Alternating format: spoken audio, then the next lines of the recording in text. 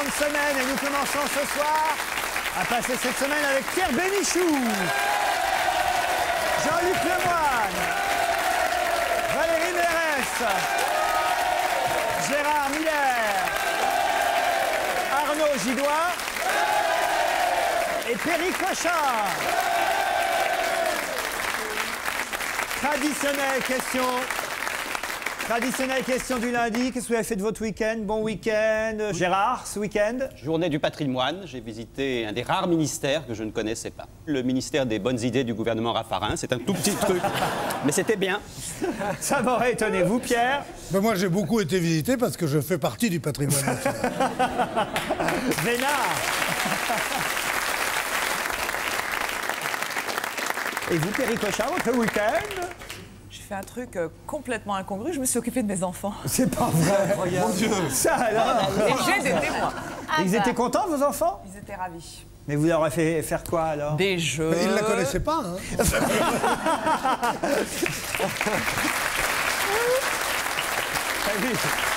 j'avais oublié, suis bête. Bon, ben voilà, sympa vos week-end. Vous, Pardon, Laurent, vous. qu'avez-vous fait? Écoutez, qu'est-ce que j'ai fait ce week-end? J'ai euh, consciencieusement préparé toutes les émissions que vous allez voir cette semaine.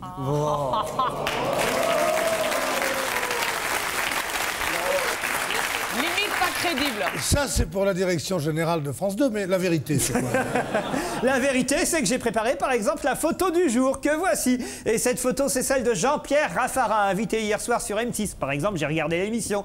C'était zone interdite, donc, sur cette chaîne concurrente. Et vraiment, on a pu constater en regardant l'émission que le Premier ministre était vraiment le roi de la com, de la communication. C'est vrai, les coupures publicité étaient très réussies. D'ailleurs, pas ce que vous faisiez si vous avez regardé l'émission, mais moi, pendant les pubs d'M6, je zappais sur France 2 pour regarder Urgence. Et là, on pouvait voir que M. Raffarin nous raconte vraiment n'importe quoi, parce que dans Urgence, il n'y a pas plus de personnel qu'avant. hein. Même Georges Clooney, il a démissionné. En tout cas, c'est vrai que d'après le dernier sondage publié hier par le journal du dimanche, Monsieur Raffarin, c'est un sondage réalisé avant l'émission, a une cote qui a encore baissé. C'est la traversée du désert du Premier ministre. Mais la différence entre un chameau et Monsieur Raffarin, c'est que Monsieur Raffarin, il a qu'une bosse.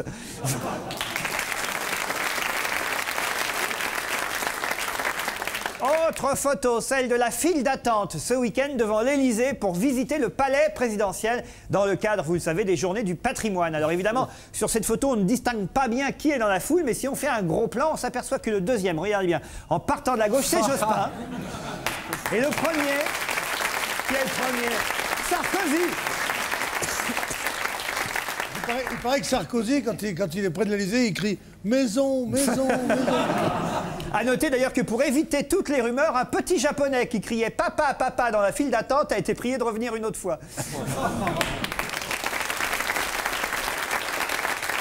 Vous êtes déjà allé visiter l'Elysée Non, jamais.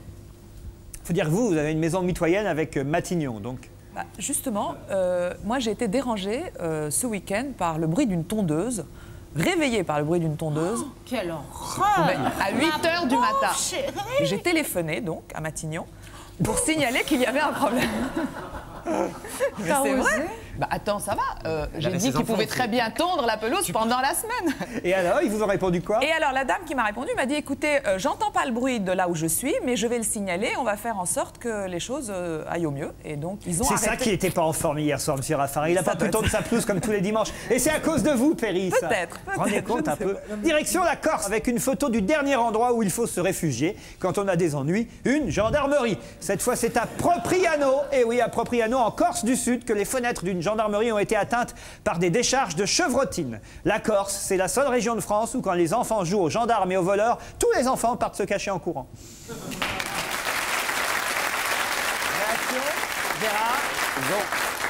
Cette fois, c'est des coups de feu sur un domicile de gendarmes, famille compris. Donc Eh oui. c'est un acte encore plus criminel si on peut monter dans la hiérarchie des crimes. C'est l'escalade, quoi. Autre photo, celle de tous ces vélos mis à disposition des Parisiens à l'hôtel de ville pour les aider à passer une journée sans voiture. Si tous les Parisiens vont à la selle, ça prouve bien que la journée sans voiture, ça fait chier tout le monde. Franchement. Vous êtes venus en voiture, vous? On va voir. Alors, si vous avez respecté Valérie Non, moi je suis venue en, ta- en taxi et j'habite la banlieue alors que mademoiselle Perry, elle, on lui a bien dit que c'était la journée sans voiture, elle a pris sa voiture, je l'ai engueulée. Ah, Elle est venue en tondeuse parce qu'elle l'a récupérée hier. Non, je suis venue en voiture, c'est vrai. Je trouve ça tellement con, cette histoire de journée sans voiture, un jour par an, qu'ils fassent des vraies mesures, qu'ils prennent des vraies mesures et qu'on ait des vraies règles. Oui, mais alors, si le jour où on te dit de pas prendre de ta voiture, tu la prends, alors évidemment, et si tout le monde fait comme toi, c'est sûr que la journée sans voiture, elle aura du mal à se Mais faire. oui, mais non, mais ça n'a aucun intérêt. Un jour, à mon sens, ça n'a aucun C'était intérêt. notre émission sur le banc. Signalons en tout cas, signalons à ce propos que toutes les villes n'ont pas pu suivre l'exemple de Paris. À Lourdes, par exemple, à moins d'un miracle collectif, la journée sans voiture, c'est pas pour demain. hein. C'est vrai.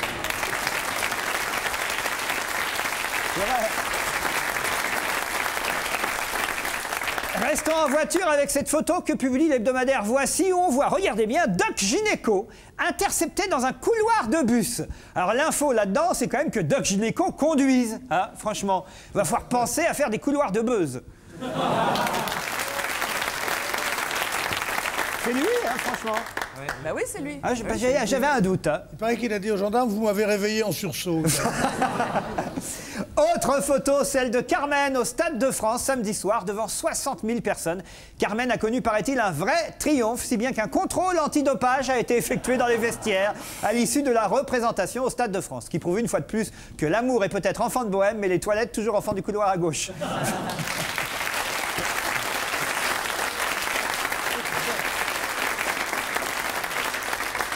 En tout cas, ça a été un, un vrai. Plus de 60 000 personnes, quand même, hein, qui ont payé leur place pour aller voir Carmen au Stade de France. Oui, c'est super. hein, L'initiative est bonne, mais moi, je trouve pas ça euh, bien d'aller voir un, un- un opéra comme ça en plein air, parce que le son n'est jamais de très bonne qualité. Or, si vous vous déplacez. dans- Oui, parce qu'il paraît qu'il y a un type qui il tondait sa pelouse à côté. Allez, encore une photo. Publiée par l'hebdomadaire Marianne, cette fois. C'est Marc Blondel. Marianne nous montre la photo ce matin. Marc Blondel, lors de son meeting de rentrée aux Zénith. Alors, je ne sais pas si vous avez vu. Il est temps qu'il prenne sa retraite, Blondel, parce que s'il commence à piquer leur casquette au rapport, il va finir par faire tourner son cigare pendant les réunions. hein.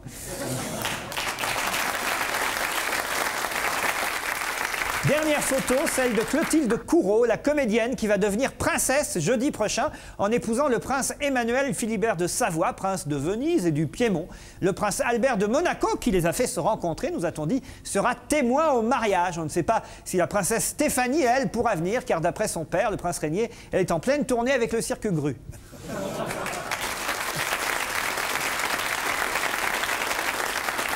Nous recevons maintenant, pour parler littérature, Thibaut de Montaigu. Il a 24 ans seulement, il est né coiffé, alors pour se décoiffer, il est devenu écrivain. Le 19 août dernier est sorti son premier roman, très bien accueilli par la presse, premier roman intitulé Les anges brûlent chez Fayard. Cet ouvrage, c'est une histoire d'amour déchirante qui se déroule dans les quartiers cossus, les beaux quartiers de l'ouest parisien. Au programme, tennis, soirée mondaine, jeunesse dorée décadente et désabusée. C'est ce milieu, cet univers que l'auteur dénonce. Pour tester ensemble Les anges brûlent, accueillons tout de suite donc son auteur, Thibaut de Montaigu.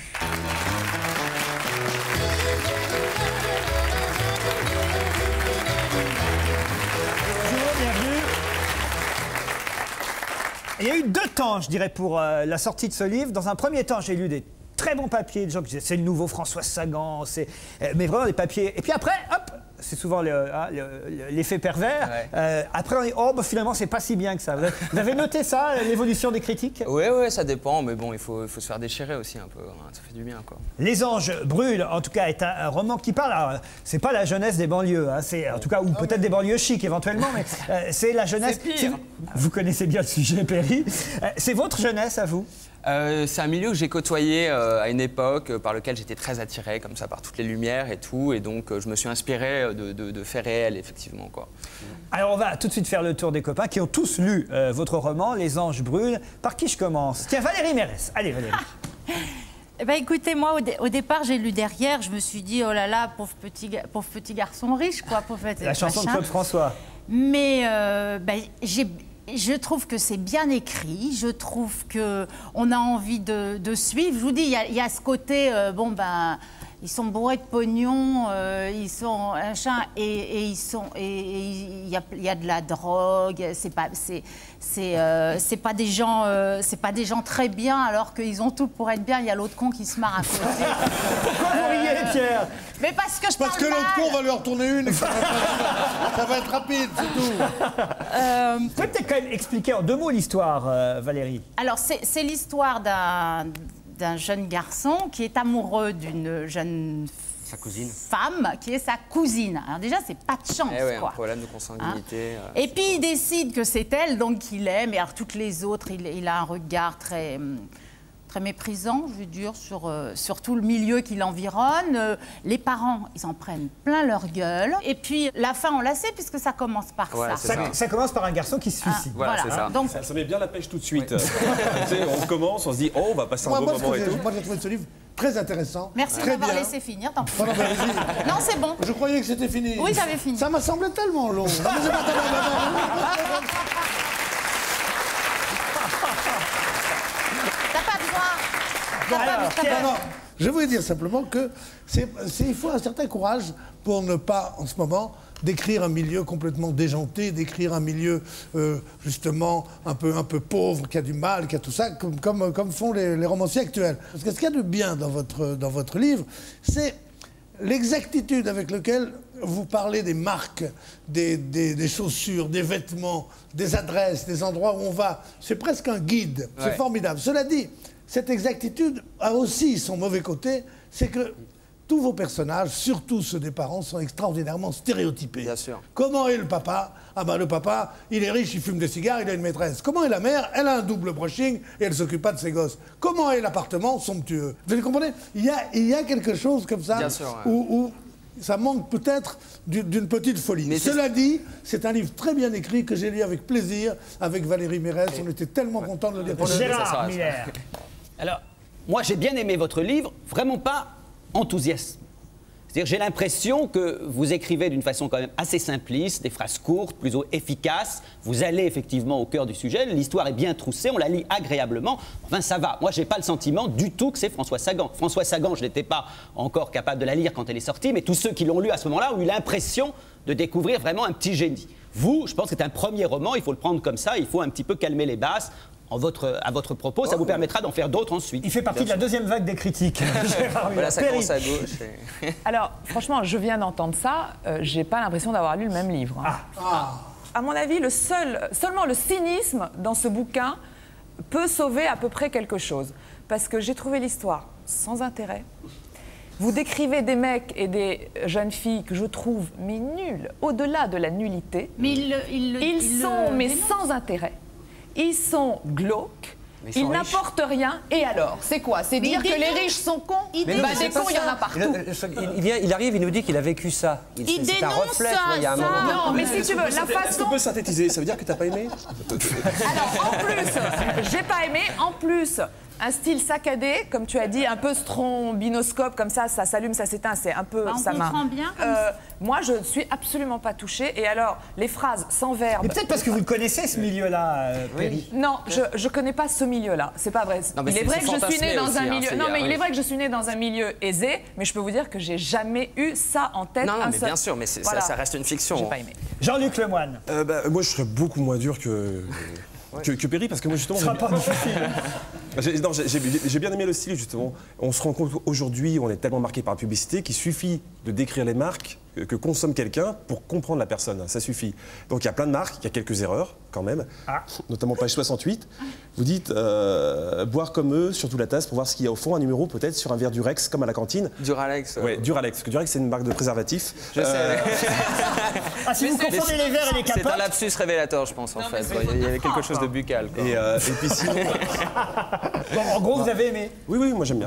Thibault, Oui. moi, moi, je pense qu'on ne vous habille pas pour l'hiver. Je crois qu'on vous rend beaucoup plus service en disant c'est un bon premier roman Oui. Ouais. en criant au génie. Moi, ce qui m'a gêné, c'est qu'on bien puisse sûr. penser qu'il y a du génie là-dedans. Pour l'instant, il n'y est pas. On n'a jamais dit que c'était génial, on a dit que c'était vachement bien, quoi. Ça se lit bien. Regarde euh, les, les bouquins qui paraissent, regarde tout ce que vous écrivez tous, c'est beaucoup mieux. tout ça. Non, non, non, non, non, mais c'est c'est vrai, c'est beaucoup mieux. Jean-Luc, dernière intervention. Euh, Oui, non, euh, je sais que vous êtes aussi journaliste à, à vos heures. Ouais. Et euh, vous êtes un, un passionné de base jump. Parce que visiblement, vous avez fait passer sur Internet une annonce. Ah oui, c'est parce Vous- que je fais un reportage Vous voulez faire un ouais. reportage sur Base Jump, donc ça vous travaille le vide. Donc on va faire une petite expérience si vous voulez bien. Ouais. Euh, une petite expérience extrême. Euh, donc vous Voilà. allez venir. On va vous mettre sur un, un petit promontoire comme ça. Je viens là Et il y a une épreuve de confiance pour vaincre sa peur du vide. Ouais. C'est de se laisser tomber et être récupéré par quelqu'un à l'arrière. Au début, on voulait que ce soit Perry qui vous rattrape. Et vu ce qu'elle a dit, euh, c'est un peu risqué. Ça va être Gérard qui va vous rattraper tout seul. Non, je plaisante, faut des hommes.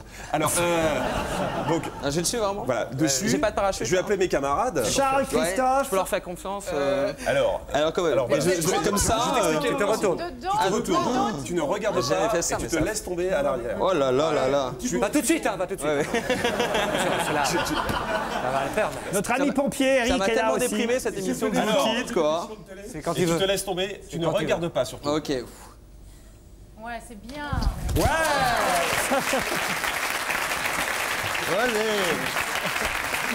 Mais finalement, ça donne autant de sensations que la drogue, non Ça, ça a l'air en forme. Non, mais- Pierre. Ouais, on- n'a pas pris les mêmes drogues alors. Paf Non, je suis pas sûre, tu vois, c'est pas. Je suis pas sûre. Mais qu'est-ce qui t'a fait celui-là Mais tu vas te Mais calmer non, mais j'ai. Mais c'est parce qu'il s'appelle De Montaigu, c'est ça qui est déjà Dites Thibaut de Montaigu, vous souhaite un gros succès. Je crois que c'est bien parti pour ce livre. C'est chez Fayard, s'appelle Les Orges brûlent. Un premier roman. Thibaut de Montaigu, merci. Bah merci à vous.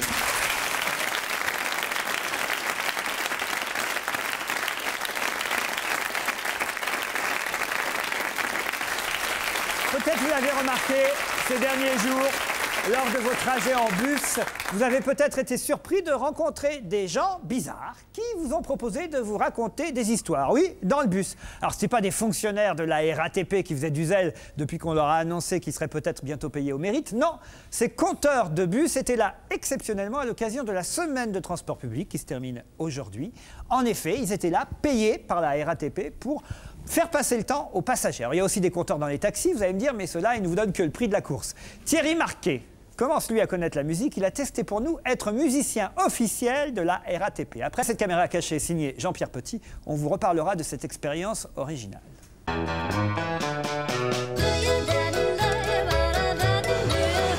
Bonjour, Thierry Marquet. J'ai testé être musicien officiel de la RATP.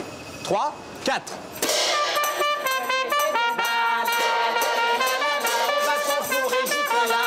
S'il vous plaît, monsieur. Contrôle des billets, s'il vous plaît. C'est bon, allez-y. Bonjour messieurs, dames. Les contrôleurs ont décidé pour la semaine du transport de vous interpréter quelques titres euh, français de musique. 1, 2, 3. Donne-moi ta main et prends la mienne. La rue est à nous, que la joie vienne. Ah, oui, oui, elle est finie, c'est quand elle est finie, c'est quand elle est finie. Bah madame, Vous êtes une vraie prise de tête, hein. vous êtes pire que tout, vous. Hein. Vous mais ça Ah, vous plaît pas? Bah madame, restez avec nous. Pardon? Vous êtes des purges. Des burges, Oui, c'est-à-dire j'ai besoin de silence, de calme, de tranquillité. Ah. J'ai pas besoin d'être emmerdé par un type comme ça qui me hurle dans les oreilles. Ah, Vous venez avec nous? Non, certainement pas. Ah, on, attend, on attend le prochain, on va rester avec madame. Ah non, alors là, vous plaisantez. Non, on va vous chanter sur le quai. Bon, écoutez, moi je m'en fous, je vais finir par les porter plainte ou je ne sais quoi, mais c'est quoi ce bordel? Je me voyais déjà en haut de l'affiche, en dix fois plus gros que n'importe qui, mon nom s'étalait.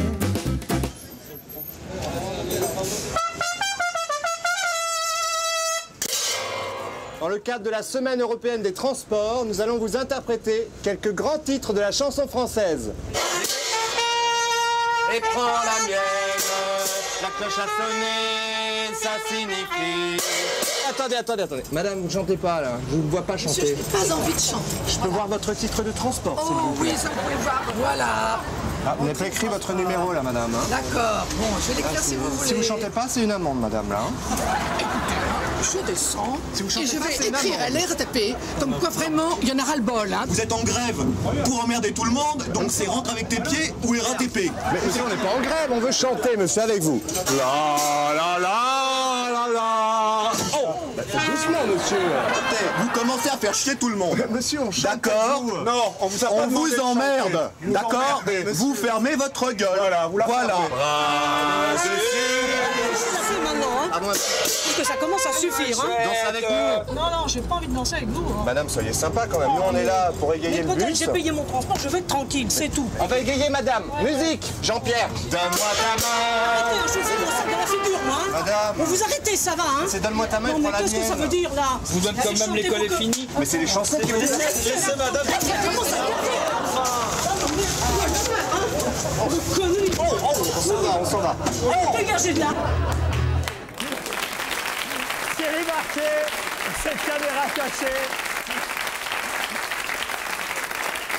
Incroyable, hein Oui, qu'est-ce qu'il y a, Pierre? Ah, moi, je trouve ce reportage formidable. D'abord parce que c'est très très drôle, c'est à mourir de rire. Bon. Mais ensuite et surtout, parce qu'on voit ces armées de lâches que sont les gens dans les transports en commun dès qu'il y a un vrai danger. Là, ils voient des jeunes gens assez gentils. À ce moment-là, ce sont des lions, les gens. Et vas-y, et fous le camp, et des coups de sac, et je vais te casser la gueule. Si c'était dans un train de banlieue où il y avait trois mecs avec la- la- l'air un peu louche, ils diraient Mais oui, on va chanter avec vous. Oui, mais bien sûr, justement, on a envie de chanter. On va accueillir quelqu'un qui est à l'origine, euh, dans le cadre de cette semaine des transports publics. hein. ça a commencé le 16 septembre dernier, ça se termine aujourd'hui. Quelqu'un qui est à l'origine de cette opération Compte en bus, ça s'appelait. On va accueillir donc quelqu'un qui s'appelle Laurence Cassaignard, qui est présidente de l'association Autour de vous, à l'origine de cette initiative. Laurence Cassaignard.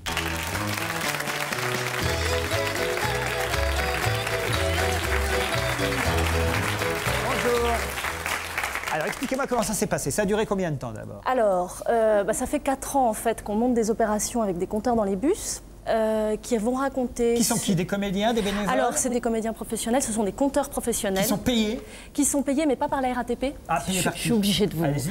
Alors, euh, cette semaine, donc, ils étaient payés pour une opération par la mairie du 2e, donc une opération qui s'est déroulée sur deux lignes de bus euh, dans le 2e arrondissement à Paris. Donc ils rentrent dans le bus, ils disent bonjour messieurs, dames. Ils rentrent dans le bus, ils sont accompagnés par une ou deux personnes de l'association, par une personne de la RATP. On a nous-mêmes des programmes de ce qui se passe pendant toute cette semaine. Et euh, effectivement, on annonce aux gens qu'il va y avoir des histoires qui leur sont offertes euh, dans le bus. Et puis euh, eux-mêmes annoncent et expliquent euh, qu'ils vont raconter des histoires. Et quand on tombe sur des gens un petit peu fatigués qui n'ont pas envie, on fait vraiment attention de ne pas les gêner. Le but, c'est de faire plaisir aux gens, c'est de les distraire. C'est absolument pas de leur sauter quand dessus. même assez éprouvant pour les. Parce que c'est quand même très difficile de jouer dans ces conditions. Est-ce qu'il n'y a pas quand même des compteurs qui ont pété les plombs Enfin, non, tu descends pas, j'ai pas fini mon histoire, tu restes maintenant. Est-ce que c'est passé juste comme ça, des- crises de nerfs à la fin de la journée? D'abord, c'était des histoires longues ou courtes? Alors, euh, certains compteurs décident de faire des histoires assez longues et ils proposent aux gens qui descendent d'imaginer la fin. Et, Ah et l'idée, c'est vraiment, c'est- mais oui, c'est vraiment ça, c'est de créer une relation avec, avec les gens, c'est de permettre à des gens qui se déplacent pas pour aller voir des spectacles, tout d'un coup, de, de leur offrir ce spectacle. Pendant que vous faites l'émission, si ça vous gêne pas, moi je vais faire ça avec une euh, Mais spectatrice. vous nous racontez des Non, non, histoires à justement, longueur d'émission. Justement, juste, Non, mais- je vais faire un truc privé. Allez, continuez l'émission. Je vais, je vais vous raconter une histoire, mais à vous seulement. Oui, la dame, Alors, elle a eu allez-y, peur. Faites gaffe. Il fait toujours le coup, il dit Je vais vous raconter l'histoire de la dame qui se fait voler son sac. Et oh, Arnaud, qu'est-ce que vous en pensez?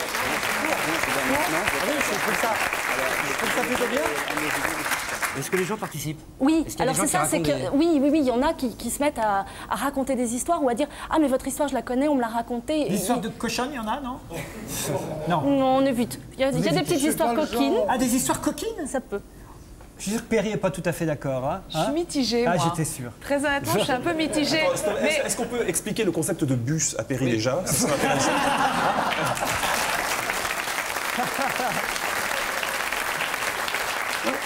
C'est quand la prochaine opération Alors, la prochaine opération, j'espère que ce sera à Paris. On prévoit des histoires d'amour pour la Saint-Valentin. Voilà. Vous connaissez le nom de la comédienne qui est Mais bien sûr, c'est Sylvie Deberg. Alors Sylvie, est-ce que... conteuse avant d'être comédienne. Alors conteuse, est-ce que juste la plus courte, attention, là bougez pas, vous n'êtes pas obligé de Oh, bah, si, je me lève quand même. Oh, je sens qu'elle va emmerder tous les passagers. celle-là. Non, non, en général, ils restent sur plusieurs Juste- arrêts. Il y en a qui ratent leur Parce qu'on n'a arrêt. pas beaucoup de temps. La plus courte des histoires que vous puissiez raconter. Eh ben voilà, c'est un homme qui marche sur un chemin. Et marchant sur ce chemin, son regard est attiré par un objet brillant. Il s'approche, c'est quoi? Un morceau de miroir. Il le ramasse. Il se regarde dedans. Et dedans, il voit son gros nez rouge avec la verrue jusqu'au bout et ses joues couperosées et son embonpoint répugnant. Et il dit au miroir Mais qu'est-ce que t'es laid, toi Mais je comprends qu'on t'ait jeté. Ah, c'est joli. Très bien, bravo, bon exemple. Merci Laurence Cassaignard. Et le nom de la comédienne Sylvie Deberg. Parfait, merci à toutes les deux. Ce week-end ont eu lieu les 20e journées européennes du patrimoine. Et cette année, ces journées du patrimoine avaient mis l'accent sur le patrimoine spirituel, issu des grands courants de la pensée religieuse, philosophique, intellectuelle et morale qui ont marqué, vous le savez, l'histoire de France. Cathédrales, églises, monastères, temples et synagogues étaient donc à l'honneur ce week-end. Près de 14 000 sites ont ouvert leurs portes comme chaque année. Samedi et dimanche étaient donc placés sous le signe de la culture, même si hélas, le château de la Starac n'était pas visitable. Dan Bolander s'est quand même cultivé ce week-end. Il a testé pour nous visiter les maisons des célébrités. Oui, ça aussi c'était possible, en tout cas dans cette caméra cachée signée Frédéric Gilbert. Bonjour, ici Dan Bolander. J'ai testé faire visiter les maisons de célébrités. Laurent Ruquier a dîné dans ce restaurant le 19 avril 1998. C'est ici qu'Alexandre Dumas avait installé son atelier d'écriture. Il y rédigea Les Trois Mousquetaires en 1844. Beaucoup d'objets personnels y sont conservés, notamment un splendide écritoire. Personne m'a dit que mon magasin était d'Alexandre Dumas. Mais attendez, à ce moment-là, il fallait pas acheter cette boutique. Hein. Je fais la quincaillerie, peinture. Qu'est-ce que vous me dites, euh, Alexandre Dumas? Voilà, vous pouvez nous montrer l'écritoire, s'il vous plaît Je sais pas, je sais pas, je sais pas. Il est quelque part. Pourquoi vous cachez l'écritoire? Faudrait nous le montrer. Je l'ai pas. Attendez, nous venons exprès visiter. Mais je- je l'ai pas. Bon, ce que je vous propose, pendant que monsieur recherche l'écritoire d'Alexandre Dumas, c'est de faire la pause déjeuner. Où ça, ici? Oui, oui, on Non, pas, non, non, monsieur, je travaille. Non, non, pas question. Non, c'est prévu dans la. Non, monsieur, personne. Non, non, monsieur. J'ai du parquet qui vaut 70 euros le mètre. N'allez pas me avec ça, je ne veux pas. C'est Pas le, question, c'est le parquet d'Alexandre Dumas? Non, non, non, non, quel Alexandre Dumas Je connais même pas Alexandre Dumas. Il n'est pas là. Ben non, il est mort. Je sais, mais je m'en fous, moi, d'Alexandre Dumas. Dehors, je vous dis. Alors ici, messieurs, dames, fut assassiné le révolutionnaire Marat. Il fut tué dans sa baignoire, que l'on peut encore voir au fond du bâtiment.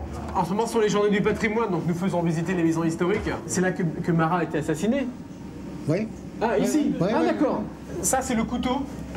Donc Marat a été assassiné par Charlotte Corday dans cette baignoire avec ce couteau, messieurs, dames.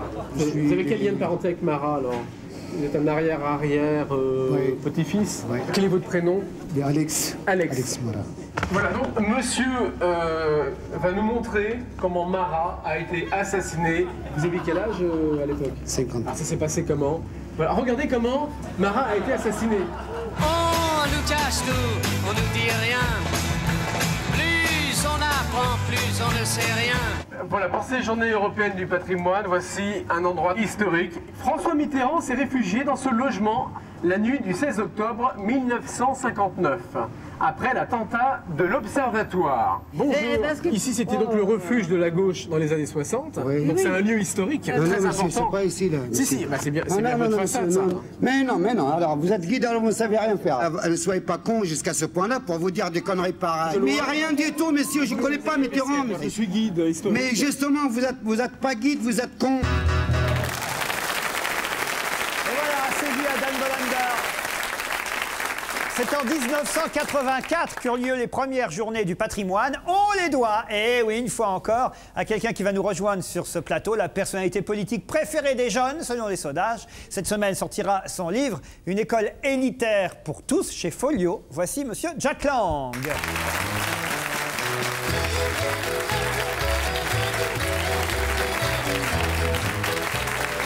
Bonjour Monsieur Lang.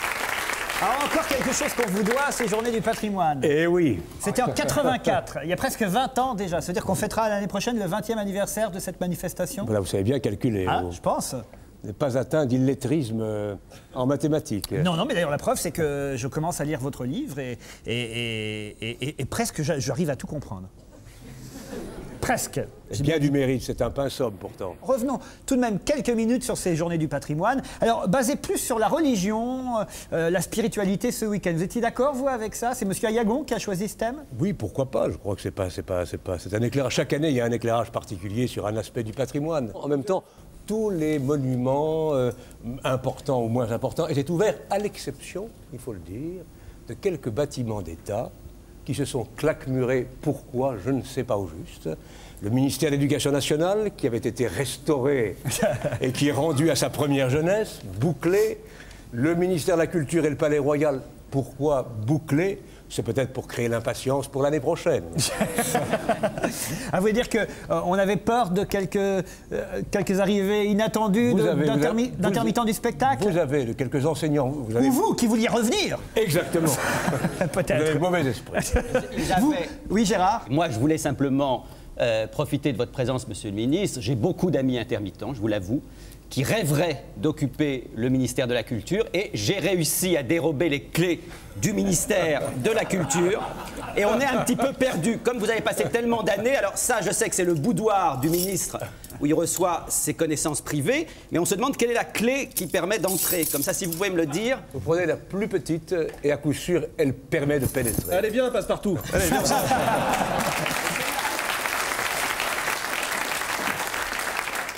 Vous-même, ce week-end, vous êtes allé euh, visiter un ou deux Je suis monuments allé un peu partout. D'abord, j'étais là où je suis élu aujourd'hui, À euh, Boulogne-sur-Mer. évidemment, euh, à Calais aussi. euh, et euh, j'ai fait de belles découvertes, de monuments peu connus, mais pleins de charme. Oui, mais ce qui est terrible à Calais, c'est que quand on arrive, il n'y a pas de Calais. oh, oh là là On va y aller, Valérie. Faut y aller, faut y aller là, faut y aller maintenant, tu sais. Ça, c'est pas en faveur des intermittents du spectacle. Alors, quel est le but de ce livre? Le, but, il est, il est premièrement de- de- de- d'offrir à tous ceux qui se passionnent pour l'école, parents, euh, éducateurs, euh, élèves, euh, des informations très précises sur les réformes qui s'appliquent à cette rentrée. Les nouveaux programmes de l'école maternelle et primaire, la réforme du collège, euh, les transformations du lycée et la nouvelle architecture des diplômes universitaires. Puis par ailleurs, il y a un petit texte dans lequel j'essaie d'expliquer le pourquoi du comment et euh, quelques-unes de mes idées sur l'école Mais vous, aujourd'hui. dites, mais vous dites surtout une boussole à une école depuis un an en perdition. Vous croyez que l'école est en perdition juste depuis un an? Elle n'a pas tout d'un coup euh, basculé dans un marasme. Certes, certes, Bon. mais elle est quand même, elle en a pris plein les gencives depuis un an. Pas Euh, plus qu'avant, honnêtement, mais pas non, plus qu'avant. Et, bon, et pourtant, j'ai beaucoup de sympathie pour vous et je trouve que vous avez fait plein de choses super. Les journées du patrimoine, je suis pas du tout d'accord, je trouve ça complètement sans intérêt. Pourquoi Parce que franchement, faire la queue pendant des heures pour entrer dans un bâtiment, déjà faire la queue pour aller au cinéma, Mais il y a déjà. des gens qui aiment bien faire la queue. Est-ce- personne n'aime faire la queue. Est-ce qu'on pourrait pas faire les journées du patrimoine en cachette pour que tout le monde ne soit pas au courant et qu'on puisse y aller facilement? Et l'école alors Eh ben l'école, je trouve qu'il y a des choses super que vous avez faites. Je ne vois pas pourquoi elles ont mis autant de temps à être mises en place, comme par exemple la première langue à partir des petites classes. Pourquoi Eh bien, on attend si pourquoi, longtemps Et pourquoi? Parce qu'il a fallu, excusez-moi, que je le décide d'ici trois ans. Et en effet, je considère comme anormal que les enfants qui ont une oreille musicale au zénith n'aient pas la chance d'apprendre tout petit une première langue vivante étrangère, et donc par conséquent, en sixième, d'apprendre non pas une, mais deux Bien langues sûr, je vivantes. suis. Donc en effet, je l'ai mis en place, Je et j'espère mais- que ça continue. Oui, mais, non, aujourd'hui encore dans les écoles en France, il n'y a pas la première langue, anglais par exemple, en maternelle ou en primaire. Excusez-moi, je, je vais être Ouais. très précis. D'ailleurs, ce livre répond à, à vos questions, donc lisez-le. lisez-le. D'accord. Euh, Mais- Il n'y a pas besoin de faire la queue pour aller l'acheter. Pardon, monsieur. Parlons. Parlons des différents ministres de l'éduca- de l'éducation nationale qui se sont succédés. Est-ce qu'ils vont venir, tous ces ministres, à ce grand débat ouvert par Luc Ferry? Est-ce que vous, votre décision est, est prise? Est-ce qu'elle est irrévocable? Est-ce que vous allez y aller? Est-ce que vous allez refuser de participer à ces tables rondes avec monsieur Ferry? Écoutez, si je suis convié à une réunion, j'y convié. viendrai. Vous oui, y oui, oui. Non, ce que je ne veux Il pas. vient je- toujours, il vient même quand il n'est pas content. Comment expliquez-vous que euh, Monsieur Luc Ferry, qui accepte tout ça, qui est c'est quand même vous qui l'avez inventé, Luc Ferry. C'était un professeur de philo, c'est vous qui en avez fait un, un- un personnage très important de l'éducation nationale. C'est ainsi que Monsieur Raffarin et Monsieur de Villepin l'ont découvert et qu'il est, qu'il est- qu'il a maintenant votre place, puisque chaque place que vous occupez reste la vôtre à vie, comme chacun sait. Bon alors donc, comment vous expliquez cela? Vous êtes un peu le docteur. Non, mais Vous vous êtes un- l'avez énervé un jour. Ah, non, pas du, pas du tout. J'ai- beaucoup de sympathie aussi. Je- je ré- pour Monsieur Miller, pardon pour Monsieur Lang. Et je résume ce qu'a dit Pierre Bénichou, vous êtes un peu le docteur Frankenstein. C'est, c'est- Eh oui, eh oui, eh oui, eh oui, eh oui, Luc oui. Ferry, c'est vous qui l'avez créé. Eh oui, non, non. Je ne l'ai pas créé, non, non. qu'est-ce qui s'est passé il, était, il était là à mon arrivée. Il était président du conseil de la salle des programmes. Il avait été nommé par François Bayrou, Bon ministre, François Bayrou. qui était un assez bon ministre et qui est maltraité, il faut le dire, par l'actuel responsable du ministère, qui, sur ce plan-là, n'a pas la mémoire euh, fidèle. Bayrou, Non, mais Bayrou- C'est très bien parce que j'aime bien la façon dont Jacques Lang défend Bayrou maintenant. C'est l'adversaire qu'il voudrait avoir au présidentiel. Bayrou, Oui, Quel bien. bon adversaire avec Bayrou. Perry, Tout autre sujet. très bien. Pourquoi pas Euh, on Une sait que- invitation à dîner, quelque chose Peut-être, On pourquoi risque plus grand-chose maintenant, j'ai compris hier, soir, non De quoi donc Ah non, j'ai compris, vous parliez à, à fumer, pardon.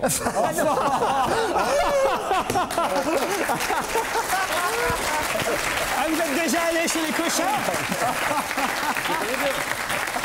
On Ah, Ça y est, maintenant, vous êtes rassuré par ce qu'a dit M. Mais J'ai Raffarin écouté M. Raffarin, il y a une, deux petites choses comme ça qui, sont, qui ont traversé ma Bah tête. alors, allez, Euh, allez, Jack, faites tourner Deux dernières questions, Jean-Luc et Pierre. Non, je, je- je suis juste admiratif, vous êtes très malin quand même, parce que dès le début, dès la petite école, vous voulez l'enseignement des langues.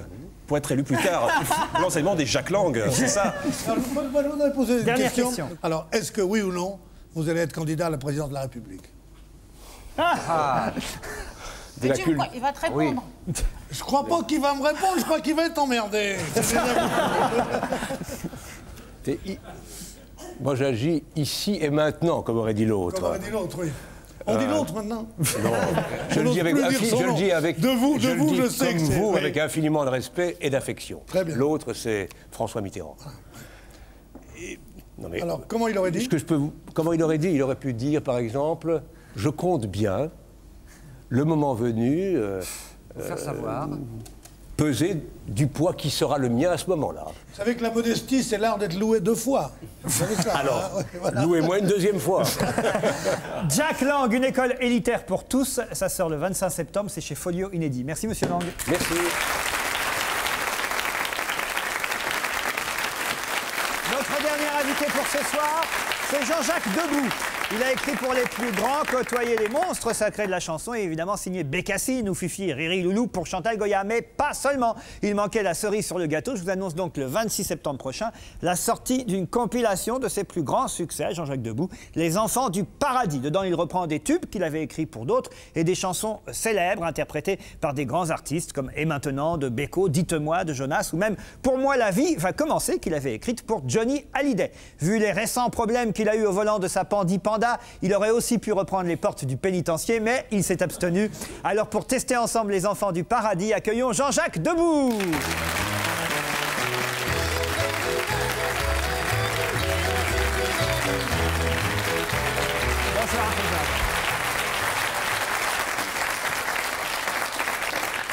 Là, attention, hein, il s'agit bien des chansons que vous avez interprétées vous, plus quelques autres, mais essentiellement vous. Rien à voir avec les chansons de Chantal Goya, autant le dire. Ah non, non, non. Non, parce que les gens pourraient se dire, tiens, c'est une compile, il reprend Bécassine, il reprend... Non, j'ai juste repris euh, Je chante pour Soigny, que j'avais écrit pour Sylvie Vartan pour un numéro 1 des Carpentiers. Et ça, vous avez bien fait parce que c'est une chanson que je connaissais et que j'adore. Je chante pour Soigny, pour Soigny, mon ami. Ta ti ta ti ta ti ta ta ta Chantal elle a quand même du souci à se faire. hein. Les boutons dorés, c'est le premier succès que vous Oui, avez eu. premier, oui, c'est 50 fin 58, début 59. C'est une très jolie chanson, des- des- des- l'orphelinat. On dit plus ça d'ailleurs aujourd'hui, ça n'existe plus les orphelinats. Bah, en réalité, il s'agissait du collège de Juilly où j'étais, avec Claude Brasseur.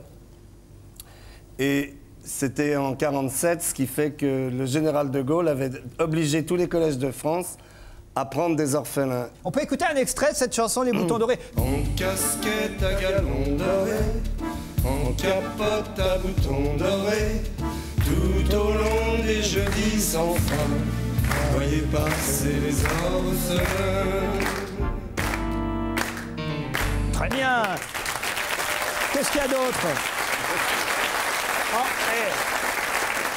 Avant de donner la parole à mes petits camarades, on se fait un coup de Pour moi la vie va commencer. Ça, c'est pour Johnny que vous l'avez Ah, écrit. j'avais fait pour son film D'où viens-tu Johnny? Pour moi la vie va commencer. Pour moi la vie va commencer en revenant dans ce pays Là où le soleil est le vent, là où mes amis, mes parents avaient gardé mon cœur d'enfant. Jean-Jacques Debout, la Les enfants du paradis. C'est une bonne idée Je sais pas ce que vont en penser mes petits camarades. Oh, pas par vous, je sais que c'est un copain à vous, Moi, je suis un fan. Bah je- ouais, je- alors, je, je vais pas suis son premier fan. Il y a une chose qu'il vous a pas dit, c'est qu'à Juilly, il n'avait pas seulement Claude Brasseur comme condisciple. Il avait Mesrine. Ah oui? N'est-ce pas? Oui, avec qui je servais la messe. Il servait la messe avec Mesrine, le type qui a été assassiné Mesrine, par- oui, oui, Oui. le, le, le, Le- public assassiné. numéro un. Oui, oui. Je servais la messe avec lui à 7 h le matin dans la, dans la collégiale de Juilly. Et comme quoi, l'Église mène pas toujours au paradis. Valérie Mérès. Euh, oui, ben moi, c'est c'est terrible parce que j'ai un a priori. euh, pas pour vous, qui est idiot, quoi. C'est à cause de, de l'image Chantal Goya, quoi, qui est euh, un peu. Qui est très collante. Mais je trouve que, ben oui, vous avez vachement de talent. Vous avez écrit beaucoup de belles choses.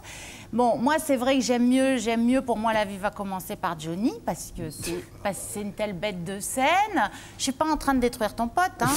Euh, mais, euh, mais voilà, quoi. C'est- je trouve que vous avez une très jolie voix, mais, euh, et, et que vous écrivez bien, mais c'est vrai que j'aime mieux, euh, j'aime mieux La vie va commencer par chanter par Bon, aimé, Je crois qu'elle J'aime mieux- préfère mais La c'est vie pas va ça. commencer. J'aime mieux la chanson de Jonas chantée par Vous Jonas. savez qu'il n'a pas tellement de mérite parce que Jean-Jacques Debout est le filleul du plus grand de tous, de Charles Trenet. Et j'ai vu des répétitions de Charles Trenet où Charles Trenet détestait répéter, où il se mettait au deuxième rang et il faisait répéter debout à sa place. Quand il répétait, il, se mettait assis pendant que debout le doublait. Pas du tout. C'est lui Ah bah, qui répétait à la fin de ses concerts, il était hélas assis avec Jean-Jacques qui était debout, ça c'est sûr. Oh, pardon. C'est vrai qu'il est de plus en plus difficile de joindre les debout. maintenant. Moi, Jean-Luc Lemoyne. Euh, non, moi j'avais déjà l'autre compile, donc euh, j'avais déjà tous les morceaux que j'aimais bien et tout. Et en tout cas, ce que j'aime en tout cas dans vos chansons, c'est que vous êtes honnête. Et déjà en 1959, dans Les Boutons Dorés, vous disiez ceci. C'est pas souvent que j'ai gagné la médaille de la bonne conduite. Voilà.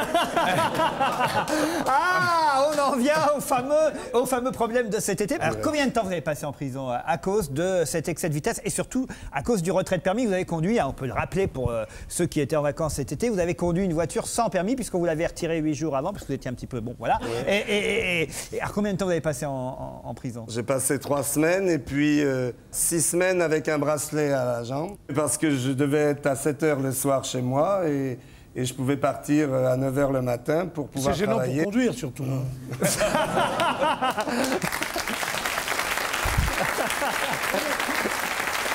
Je, je voudrais dire quand même, pour que ne- les téléspectateurs ne, ne croient pas qu'on qu'on accueille ici des, des gens euh, vraiment qui, sont, donc, qui ont fait des choses rédhibitoires, contrairement à son ami Mesrine, il n'a tué personne. Non, parce que Jean-Jacques, le hein. chasseur, c'est pas lui qui l'a tué. C'était un lapin qui. C'était un lapin qui. Gérard, attention parce que c'est en matière de sécurité routière. Gérard va vous faire la leçon, Jean-Jacques. C'est vrai, quand j'ai vu votre récidive, vous étiez capable de conduire alors qu'on vous avait retiré le permis en état qui plus est d'ivresse. Quand Pierre dit vous n'avez tué personne, Dieu merci, il ne faut pas attendre que vous ayez tué quelqu'un pour vous rendre compte que c'était absolument criminel. Oui, mais mets ton képi quand tu parles à mon ami. quand même. non, non, non. Je suis désolé, c'est-à-dire que je sais bien qu'il y a encore une tradition française qui consiste à rigoler de ces histoires d'abus de boissons, Mais de personne ne rigole ici. Non, si, on a- Quand tu es là, personne ne rigole. Non, mais- Non, mais Non, j'ai dit j'ai fait une connerie et j'ai mérité. J'ai jamais Bah. dit la police, si, ça. J'ai- Ce qui était très difficile, c'est, surtout le début de l'incarcération euh, au palais de justice parce qu'on va dans ce qu'on appelle euh, euh, les souricières. Mais après, à la santé, c'est comme un hôpital militaire. C'est un peu le collège de Juilly. Et puis, euh, quelque part, ça me rappelait un peu Mesrine qui, lui, s'en était évadé. Quand même, vous dites. Pardon, allez-y, Jean-Luc. Non, non, parce que moi, il y a quelque chose, euh, ça ne me concerne pas, mais qui m'a un peu choqué, c'est l'attitude de Chantal Goya dans cette affaire. C'est-à-dire que on, on l'a vu par le passé, souvent quand euh, le mari est emprisonné, la femme essaie de le faire libérer par hélicoptère. Pourquoi elle n'a pas essayé de vous faire libérer Pourquoi elle n'a pas essayé de vous faire libérer avec son soulier qui vole? C'est ça que je veux savoir. C'est vrai. Elle aurait pu. Vous exagérez parce que vous dites euh, il y a une vraie solidarité en prison. Vous racontez comment, avec d'autres euh, prisonniers des quartiers, on va dire VIP, hein, on peut dire ça, Sirvin. Non, et- VIP, euh, de VIP, non. La seule chose qui est VIP, c'est qu'on est seul dans la cellule. Voilà. Et vous dites que vous avez eu de la peine presque en, en quittant. euh, euh, Oui, parce qu'il y avait un, un prisonnier qui s'appelle Patrice, qui était très sympa, avec qui je m'entendais bien. Et puis, euh, il y avait là euh, Alfred Sirven, qui, quand il pouvait, me faisait passer une petite soupe chinoise dans sachet qu'il faisait avec sa casserole. C'est quand même dingue. Oui, et puis j'ai- rencontré vraiment que des, des copains, des amis. J'avais l'impression d'être un peu chez moi. Et le matin où je suis parti, l'impression que vous avez envie d'y retourner. j'avais envie d'y retourner. C'est vrai, il vous C'est vrai. manque. Mais oui, il manque. de vitesse. Non, c'est vrai. Mais j'avais, tout d'un coup, je m'étais retrouvé avec une famille que j'avais pas souhaité, mais c'était devenu vraiment une famille. Et, ça m'a fait de la peine de les quitter un matin comme ça, boum, et puis euh, voilà. Et, et dernière question, vos amis euh, les plus proches ont été euh, là pour vous soutenir. Euh, J'ai lu euh, que ce soit Johnny, que ce soit Carlos, euh, Sylvie Vartan, évidemment, euh, Laetitia, Jean-Luc Lair, Hervé Villard, Richard Anthony, ceux pour qui vous avez écrit des chansons Michel Thor, Oui. euh, vous ont appelé, vous ont soutenu. J'ai reçu plus de 600 lettres. C'est le moment de l'appel à un ami. On va essayer d'appeler Carlos. Ah, il est sympa, Carlos. Mais il y avait l'autre qui était dans la cellule en dessous de moi, juste en dessous de moi. J'espère que c'est pas celui-là que vous voulez appeler. Non, c'est le chanteur. Euh, on va d'abord appeler le chanteur Carlos, juste pour voir quelle va être sa réaction. Vous allez lui demander si ce soir, il peut pas vous prêter sa voiture. Oui C'est Jean-Jacques, debout. Oh bonjour Jean-Jacques, comment tu vas? Bah ça va bien depuis que je t'entends. Qu'est-ce qui t'arrive? Bah dis-moi, j'ai mon cousin qui s'est cassé la jambe dans le Périgord. Et, et il faut absolument que je trouve une voiture pour aller le, le voir ce soir. Est-ce que tu peux pas me prêter ta Ben voiture? non, elle est, elle est au garage. Oh, merde. Elle est en révision. Mais pourquoi t'as... Mais, toi, tu vas pas la conduire? Bah exceptionnellement, il faut que je le ramène chez ses parents qui habitent à Nogent-sur-Marne. Ah ben non, non, non, tu vas pas conduire sans permis. Non, mais c'est comme c'est la nuit et ça se verra pas. Mais ça va pas, tes conneries. Eh oh, mon chéri. Hein Commence pas me prendre pour un con. Carlos Oui, oui. Commence pas à me prendre pour un con. Connard, là. Eh, C'est un, vrai, c'est un vrai copain, il vous laisserait pas faire une connerie. Quand Non, vous je êtes sur le plateau, dont on a tout essayé, c'est Jean-Jacques Debout qui vous appelait effectivement l'appel à un ami. Faites attention à vos amis, hein. Non, mais tu sais, il est assez, il assez barjot pour avoir une idée comme ça. Euh, Pardon de vous avoir dérangé, Carlos. Laurent, tu lui mets les menottes et tu l'attaches le radiateur, j'arrive.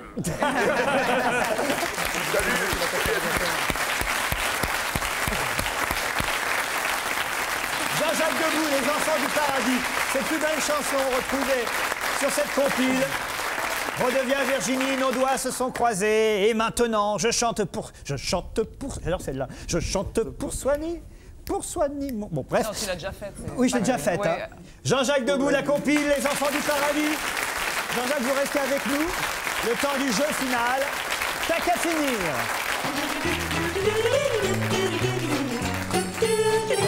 Vous en connaissez peut-être le principe des déclarations relevées dans la presse ce matin. À vous de compléter les phrases, à commencer par le Premier ministre Jean-Pierre Raffarin. Peut-être vous l'avez regardé hier soir, non? Non, mais c'est un ami. Ah, c'est un ami. J'ai fait souvent le voyage Paris-La Rochelle avec lui. Il descendait à Ah, Il descendait à Poitiers. Poitiers. Parfait. Je le Alors, il a- depuis une quinzaine d'années. Bon, et il a dit hier soir, l'avenir de la France, ce n'est pas un, un quoi Un vrai poids-de-vin Non. Un jeu d'enfant. Un gâteau? Non. Un président comme moi. Non. C'était au moment où il disait que la France devait travailler, que les Français devaient réapprendre le goût du travail. Ce n'est pas un sujet de polémique? Non. Un bordel Enfin. Pas loin, pas loin. Un, voilà, un foutoir. Pas un foutoir. Une cour de récréation? Presque. Plus qu'une cour de Une récréation. maternelle. Plus grand qu'une cour de récréation. Une cour de un club, un club de vacances? Plus qu'un club de vacances. Hein, un, Un paradis. à Marne-la-Vallée, qu'est-ce qu'il y a? Un parc d'attractions Un parc de loisirs. Bravo Pierre Bénichou, bravo Jean-Jacques Debout. L'avenir de la France, ce n'est pas un immense parc de loisirs. Autre caca finir, Mick Jagger, les Stones. Il a dit Mick Jagger, ce qu'il y a derrière la fermeture éclair de mon pantalon. Ça, je sais. Il y a mon zizi. Non, non, je, je le sais absolument, c'est fond dans la bouche, pas dans la main. Pas mal entendu. Moi, un bijou extra qui fait crack boom U. Non, ça, c'est Dutronc, ça. Ah pardon. C'est ce qui me donne envie de continuer les tournées. Il est si petit que je le cherche tous les matins. Euh, c'est plutôt le contraire. C'est énorme. C'est c'est ce sens-là, c'est dans ce sens-là. A toujours fait plaisir aux Fab. Oh, Allez, je vous l'accorde, c'est presque ça. Ça en a étonné plus d'une. Bravo, Perry Cochin, une experte. Le caca finir suivant est une phrase prononcée par Monsieur Chirac sortant de sa voiture en Allemagne et découvrant euh, Monsieur Schröder. Qu'est-ce qu'il dit à Monsieur Facile, Schröder facile. Et oui, c'est. c'est Bon, voilà. Encore moi. Pa- Pardon C'est encore moi. C'est encore moi, bravo Jean-Jacques Debout. Et oui, c'est encore moi. Ça serait, ça serait plus naturel que M. Schröder, arrivant en France, dise Eh oui, c'est encore moi. Parce qu'on a rarement envahi l'Allemagne. Il l'a dit en allemand d'ailleurs, Monsieur Chirac. Alors, je ne sais pas comment ça se dit en allemand, ça, et oui, c'est encore moi, mais il l'a dit en allemand, paraît-il. Autre tac à finir, Maria Carré, vous connaissez, chanteuse? Bien sûr. Ah, bien sûr. Je n'intéresserai jamais les hommes, ils savent, ils savent quoi? Que je suis trop idiote. Non. Que reconnaître les chieuses. Non. Je n'intéresserai jamais les hommes, ils savent que j'en suis un. Non. J'ai un pet au casque. Non. Que je les méprise. Non. Que je suis très grosse. Non. Pourquoi Que je suis infidèle. Non. Je suis trop intelligente. Non, en gros, elle essaie de dire que les hommes ne peuvent pas s'intéresser à elle parce que euh, ce que les hommes croient qui peut intéresser les femmes, elle, elle l'a déjà. Je sais Et pas- ils savent que je suis trop riche, que je suis riche. Que je suis blindé. Qu'ils Que je suis besoin de leur argent. Bravo, que je, ne- que je peux tout avoir sans eux. Bravo, Péricochin. Ils savent que je peux tout avoir sans eux. Encore une experte hein, qui parle. Euh, Écoutez, vous en avez trouvé un, Jean-Jacques, de tac à finir. C'est Ah pas bah mal ouais, déjà. moi, je suis content. C'est pas mal. Bon, bah écoutez, je crois qu'il faut que vous partiez parce que votre voiture est garée en double fil. on vous remercie. Non, restez encore deux secondes. Le temps de rappeler que l'album est sorti. Nouvel album, Les Enfants du Paradis, avec évidemment les plus grands succès. C'est une compile. Jean-Jacques Debout, merci d'être passé nous voir. Vive Chantal Goya. Bye bye. À demain.